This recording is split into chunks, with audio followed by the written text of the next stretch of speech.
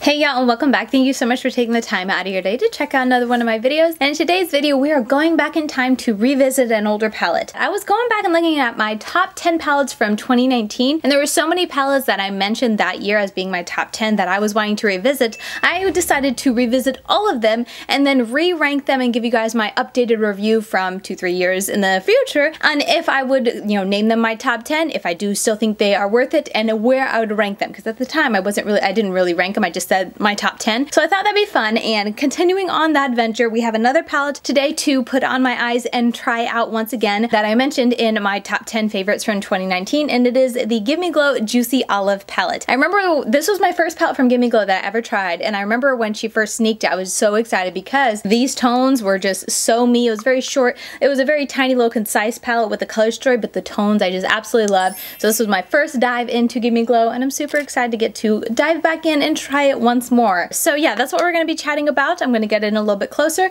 and let's just start playing with these shadows on my eyes once again and we can see if I love it just as much as I used to. And I kind of forgot, but my re-ranking of 2019 palettes is going to be the very last video that I do during Kate's Giving. So at the end of the month, you'll see where I rank them. And yeah, with that said, let's go ahead and dive in and revisit this palette.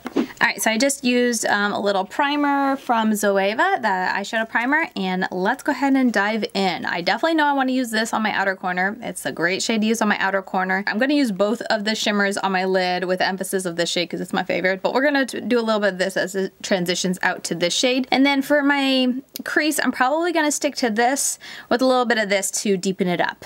And then we'll throw this one on the lower lash line just so we can say we used them all. That sounds good to me. Hopefully that sounds good to you. We can go ahead and jump right in. Let me grab a brush. I actually just recently washed all my brushes, so I'm a little overwhelmed at how many clean brushes I have to work with. Usually I'm trying to find a favorite brush that I can't find, and now I have all my favorites, so I'm like, ooh, which one shall I use today? All right, we're just gonna go with the classic favorite of mine for the outer corner, the L210 brush from Estelazzi, one of my favorites for sure, and let's go ahead and go into cocktails. So for this video, video as we're chatting, I thought it'd be kind of fun to give a little bit of an overview on kind of a life update. Now, I don't know if you guys have seen this already or if I'm going to be putting it up, but I did do a bit of a life update on our renovating of the house, and I recorded that like a week ago at this point, but I felt like I wasn't very, I, I like I rambled a lot, so I didn't really get through or like share as much information as I had wanted to and then also like I was thinking over it and I felt like I kind of generalized some areas so I'm gonna try it again. We're gonna talk about it. Hopefully I won't repeat too much info, but if I do repeat some information, that's gonna be in that video. But um, hopefully I'll be able to give you guys some other information because I was gonna focus mostly on the house because we bought a house in, let's see, sometime in May. We bought an old house that needed a lot of work. I kind of always knew like, you know, HGTV used to do those houses where people would buy it and either, you know, flip it to sell or they would buy a rundown one that needed a lot of work and then they would fix it up to live in. And I kind of always like looked at that and be like, I don't think I would enjoy that process just because of all like the hidden surprises and all that. And after doing it with uh, this house, I, I, definitely know I don't like to do that.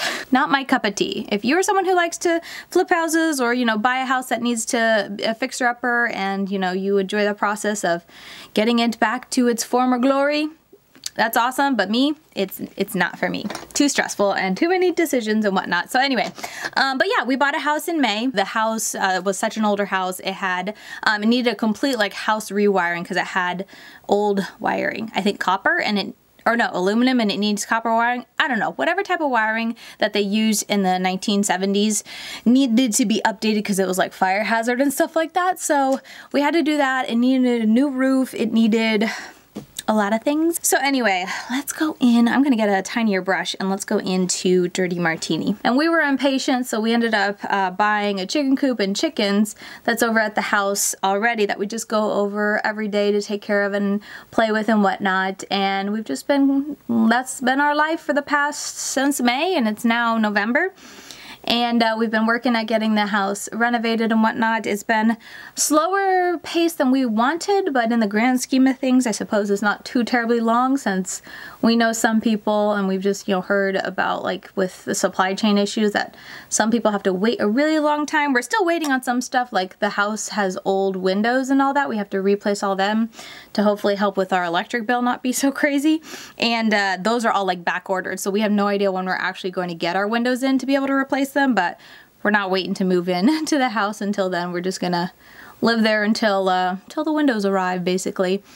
Um, so anyway, in the grand scheme of things, uh, we moved, we bought the house mid-May, I think, and Lord willing, if everything continues to go well, the house will be livable in like another week or two in the middle of November. When I think about it like that, it's like, oh, it hasn't been that long, Katie. But when you're living it, it feels like it's been a very long time. I'm gonna go into a dry martini. Yeah, dry martini. That shade that I use, dirty martini, is a lot deeper than you anticipate when you actually use it. And I think I remember that from my original review. So anyway, um, yeah, it's just felt so very long. And I think the whole process of like, you know, having several younger children, being pregnant, moving, like we moved to an entirely new house like a week or two before we bought the uh, the house with land and started the renovations. It's just been a lot and there's always felt like so much going on that um, it feels a lot longer than I think it actually is. And like we, myself, uh, myself and my husband and the kids all feel like very burnt out at this point.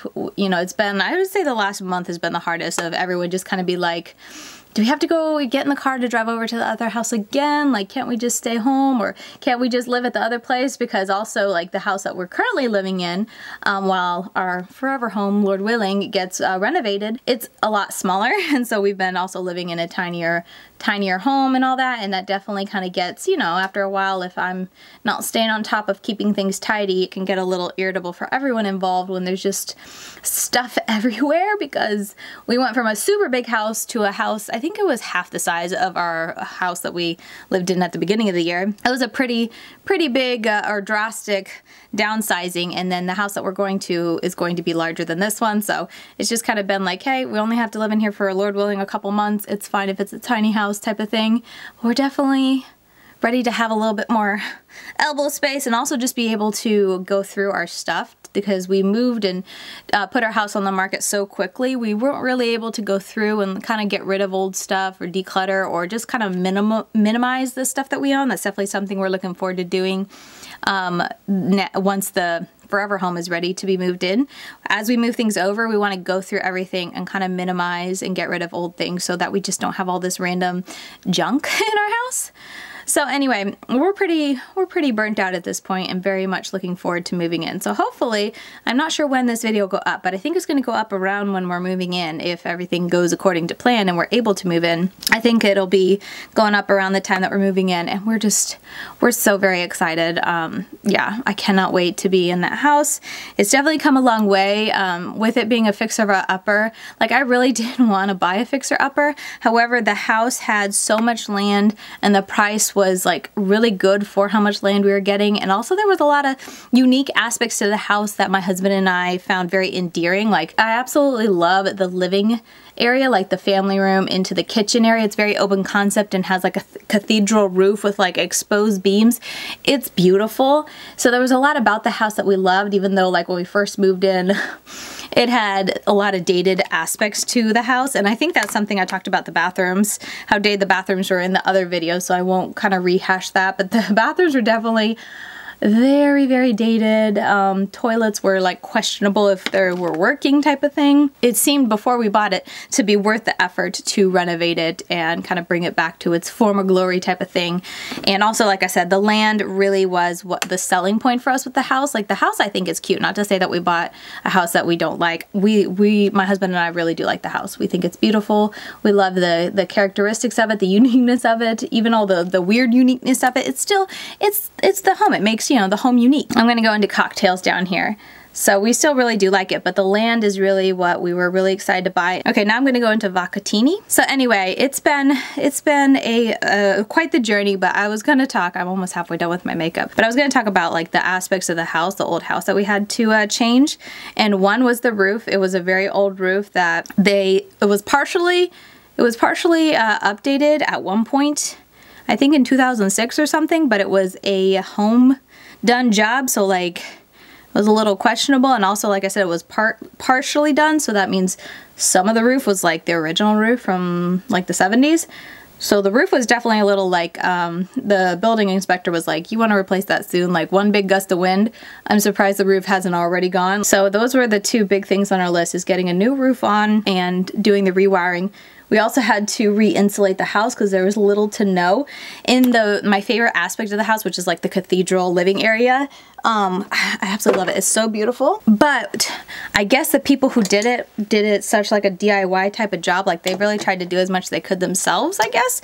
So um, some of the, some of the areas were a little bit like oh dear, they really did try to cut corners. So like the cathedral roof, which is beautiful, had absolutely zero insulation. On the other side of the beautiful open beams and the wood that you could see inside the house is where they laid like the, the shingles for the roof on top. Like there was no nothing between that. The wiring was run between, like behind the wood that you could see on the inside of the house. They just laid it there and then put the shingles on top and stapled away or nailed away, whatever they do to shingles. Like it was a very interesting, the people we got to do our roof was like, how is this roof, how is this house still standing? Like how was there not a fire? So yeah, we had to do a bunch of uh, re-insulating the house because a lot of either the house, the areas that did have insulation was barely anything there anymore or like the cathedral roof had zero insulation. So we had to work around with our uh, contractor to figure out how to get insulation there and still keep the, the prettiness of the roof and not totally have to, you know, enclose it all in, that type of thing. So that was definitely a challenge that we had to overcome. We had to replace the gutters because those were all falling off. What else did we have to do? Bathrooms like I said, super, super dated bathrooms and just like, and I, I went on, I do know that that's one thing I went on about in the other video, so I'm not going to go into it too long, but I didn't like the bathrooms, not only in just how old they were, but just functionality from like day to day. I didn't want to have to function with them, so when we put in the offer on that house, my husband and I were talking, I was like, the bathroom's got to go. Like, uh, the kitchen is a little outdated and could be, you know, could, we could have renovated the kitchen to make it function a little bit better and just be a little bit more spacious, but I was like, that I can live with. It's spacious enough. It's definitely much bigger than the kitchen I'm in right now. But the bathrooms, the bathrooms had to go. I'm gonna pop a little glitter primer and then we'll put the last two shimmers on the lid. I've just been rambling and I haven't, I forgot that during these videos I wanted to kind of talk to you guys about if the formula, if I still like the formula and whatnot, but like, all those mattes blended so beautifully. If anything, like my only word of caution would be that some of the mattes are a lot more pigmented and darker than you might think, like that shade I put all in the crease. But, I mean, that's not a bad thing. It's just something to be aware of. And they all blended out so beautifully. So I'm excited to see how the shimmers still feel. But getting back to the house, let's talk about the house a little bit more. What else? So bathrooms had to be uh, updated. They were definitely 70s bathrooms, um, very unique very unique. They have uh, toilets that adhere to the wall because the, I guess they use, whatever they use for piping into the, the foundation of the house, they didn't put it in instead of putting it into the foundation of the house like I think you typically would. They just stuck it into the walls to go out. So our toilets have to be like wall mounting not a huge deal, I guess. It's just a quirk of the house that we didn't realize that we would have to live with. Um, like I said, I'm going to go into this one first and then just use a little bit of that to blend out. We also had to redo all the flooring in the house because they had kind of like a patchwork job done in that like some areas was like I think it's called linoleum where you kind of just unroll it out and stick it to the floor. It had, it, that was in the kitchen area, but it like, they did it themselves in that they laid it down. I don't think they glued it down because anytime you open the front or the, the door that goes from the garage into the kitchen, you'd open it and where the, you know, because it was near the edge, the wind would catch it and the whole floor would like ripple from the gust of wind. So I don't, I don't think flooring is supposed to do that. so it had that in the kitchen and then in the rest of the house it had some type of like slated wood floor, but uh, it was a little bit interestingly done, like, you know, it wasn't quite professionally installed, I guess you could say, but that one was fine. Like, it, that flooring, it wasn't my favorite. I didn't like the coloring, but I could live with it. It wasn't so terrible. But then in the hallway going down to the bedrooms and in all the bedrooms there was carpet that really needed to be replaced just for you know getting fresh new carpet into the house. And also I didn't want carpet in the hallway. Again it looked like it was installed the by the homeowner so it was a little bit like of some areas was like a little bit of a ripple there a little bit of a crinkle here that type of thing. So when we bought the house we decided to get new carpets and um, get new carpets and redo the flooring through the whole house. At first I was like, can we just redo the flooring in the kitchen? But it was kind of like, if you're gonna do it there, it's not gonna match the rest of the house. If you eventually want to get that out as well and redo that, then might as well do it also. We ended up redoing all the flooring in the house, which is gonna look pretty and beautiful, but um, I'm also, I think this is another aspect that I don't like renovating. I don't, I hate spending large chunks of money. And so anytime we had to like make a decision on the cost of things, I kind of was just like, um, can we spend as little as we possibly can? And my husband was like, we're doing this to last a long time. We need to think, you know, budget, of course, but like, let's make sure we're spending on quality and making sure we're getting something durable to last a long time, not so focused on just spending as little bit as we can, like going with the cheapest option. So he was much better at being logical there. I, I just, I get, I don't know, it stresses me out and I'm always just like, I don't want to spend any money. So I didn't like making those big decisions. This shade is really pretty, almost too similar to that first shade. I mean, they're different different, but I feel like you could have just had that first shade in there and then you could have just run a little bit of any of these mattes over it to get the same look. But they're both very pretty. A little bit of fallout that will hopefully clean up easy. So anyway, um, what else do we do? Those are the major things. Um, we still are, you know, gonna use whatever um, AC HVAC unit that the uh, the house came with, but in a couple months, once we recover and have moved in and saved up a little bit more money, we do need to replace them, but we're really hoping they'll just make it at least like one more one more season since they've made it this long so that we can save up some money before buying a whole new um, HVAC unit, but we do plan to buy, um, a, you know, install something different because what it has now is actually quite interesting. Any builder that came into our house to quote it, it was like kind of like the our contractor loved to take them and see this aspect of it because it was so different. He's like, I've never, I've done contracting work for years and years, never seen anything like it. But um, in the main area of our house because it has the beautiful cathedral ceiling that the homeowners just put shingles on top of. And there was no like there was no uh, insulation or anything on the other side they couldn't put any of the usual like piping it's not called piping but you know for the HVAC the the tunneling that takes the air throughout the house they couldn't put it in the ceiling like you usually did. So they actually poured it they like put it in the foundation of the house before the, they poured the concrete for the floor. So all of our um, you know air vents and stuff like that are in the ground on the floor just kind of facing up to push the air up.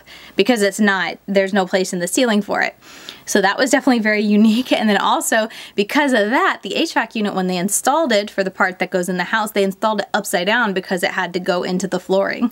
So unique, so weird. And like I said, it was a aspect of the house that our contractor loved to show everyone whenever they came to work on the house and be like, hey, have you ever seen this? But yeah, so unique, so interesting. Um, let me see if it's going to look any different if I line this. Or should I just take a black? Feel like I should just take a black, yeah. All right, those shimmers are beautiful. The only thing that I kind of regret is that I have my face already done because it definitely made a mess. I'm gonna line my eyes really quick and then we can close out. Well, you know what? I always say this, but let's go. Why do I do this? I always do this to my, myself. I annoy myself when I edit because I do this so much and I'm just like, Katie, can you just not? Um, let's go ahead and do an inner corner highlight. I want to use one of these, but let's get one with a green shift to go with it because there's no really bright shade in here. I have the Nightlife palette from Gimme Glow. I wonder, nah, none of those. Oh, you know what? I also have, let's do this shade right here. This is from Gimme Glow as well. Got it not too long ago. It's called Electric Unicorn. I think it's like a multi-chrome?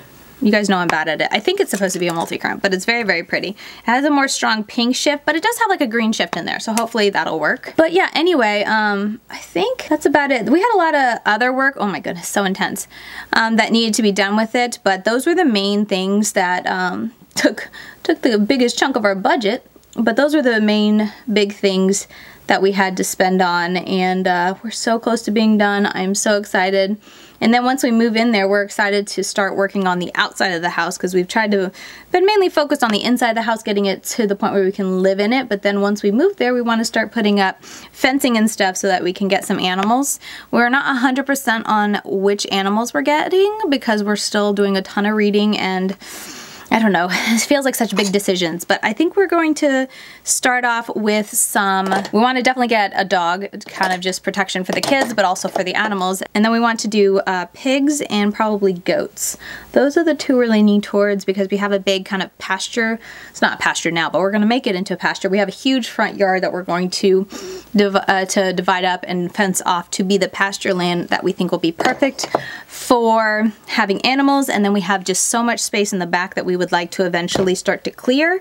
And goats and pigs are both really good animals to uh, to do that kind of clearing and kind of getting the underbrush down. With the goats also we'd like to eventually when we get used to them breed them to do some milk because that would be awesome to be able to get our own milk and make some cheese. It's such a learning experience and I'm really excited that we're like so close to starting it. Like I said, we have chickens there that we've been, you know, kind of dipping our toes into already, but it'll, it'll just be so nice once we're there and we don't have to do the constant kind of back and forth and whatnot. So, you know, I'm not even gonna do liner. I'm gonna refresh my mascara and then we can close out this video. So I'll be right back. All right, so here is the final look. Per usual, I'm gonna stick up the close-up so you guys can see how the look turned out. Oh, and you guys can obviously see I changed up up my lipstick. I used to have the Natasha Denona uh, My Dream lipstick, I think is what it's called, and I switched it out for the Lime Crime Lip Blaze in the shade Herb. Love that lipstick, and I just felt like the color went with this look so much more. Like I said, I decided to opt out of doing liner, and I kind of don't miss it. It's nice and grungy, and it looks nice and blended out. Maybe you could have done a little bit more on the outer edges, but